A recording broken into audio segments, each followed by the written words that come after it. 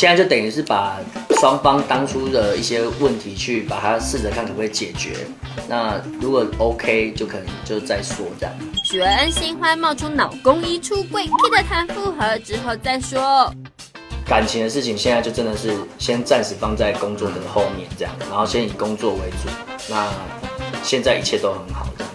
是 Kid 去年十一月和交往五年的徐维恩拆了，但两人仍藕断丝连。在今年二月同游泰国还玩凶霸，关系让人看也看不清。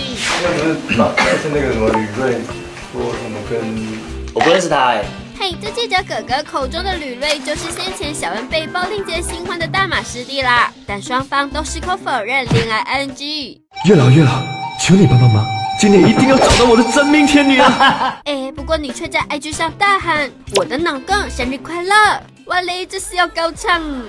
嘿丢，咱们往前再细查吕瑞的 IG 文章。今年情人节时，他写下我的顶哥情人节快乐，也曾亲昵喊过他 Happy，但曾发文写下是不是要成为最好最好最好的兄弟之前，都必须经历一些彩虹的故事呢？哎，不过这些示爱文呢、其实下方都有 Hashtag Romance。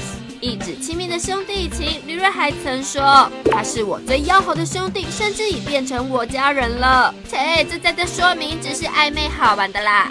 娱乐当新闻，小恩表示我还是有机会的啦，报道。